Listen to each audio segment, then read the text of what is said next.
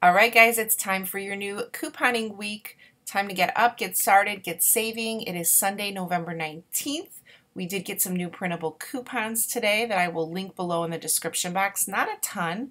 I had fingers crossed that we were going to get that Nivea coupon that a lot of you guys did not get, but as of yet, there is no Nivea coupon available. I will definitely keep you guys posted.